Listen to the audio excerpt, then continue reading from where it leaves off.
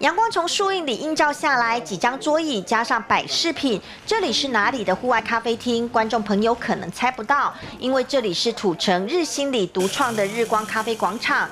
原本是社区的脏乱点，经过改善后，居民常到这里散步。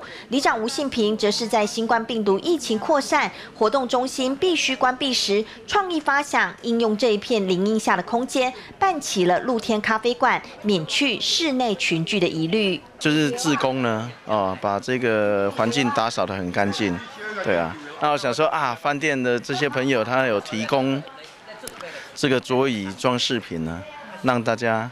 可以在这边多一个活动的空间呢，对，所以就开了这个露天咖啡厅。对。对对对，那我们这边呢，最主要就是说，也在做一件事情的时候，可以提醒民众，哦，提升一些环保意识，所以我就提供了咖啡，哈，然后让他们自己带杯子来这边，呃，可以享用下午茶的感觉，都喜欢来这边呐，对啊，都喜欢来这边，对啊，然后那个。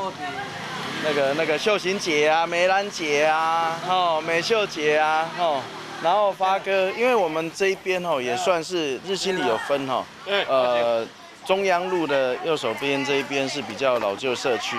靠近中华路都是比较新的社区，所以我们也希望比较新的那一边社区呢，也可以过来这边，就是大家一起同乐认识啊。对。为了要开户外咖啡厅，需要桌椅，需要咖啡设备。里长吴信平有好人缘，身边好朋友热情赞助，帮助里长一臂之力，让社区里的阿公阿妈能够在户外享受阳光，再喝上一杯现煮的咖啡，配上邻里好朋友送来的饼干瓜子，这样的幸福感只有在。日新里才能够独家拥有。他们家好像做幸福的，阮这伊迄种出这好的啦，阮这个用。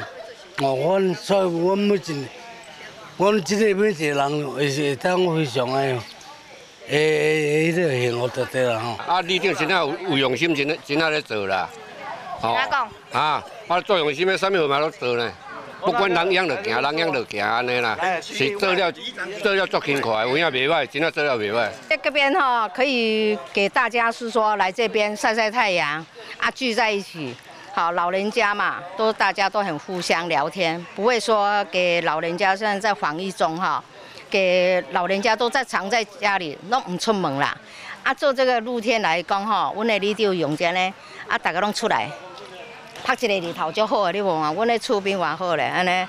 日新里独家的日光咖啡广场，桌椅怎么摆设自由弹性。吴信平热情邀请社区长辈来到这里聚会，消磨时间，大家作伴聊天。过些日子也会邀请讲师开课，带给他们更多养生或是生活的资讯。日新里日光咖啡广场，一杯热咖啡，一份邻里的热情，等着大家一起来聚会。记者林立吴志恒土城报道。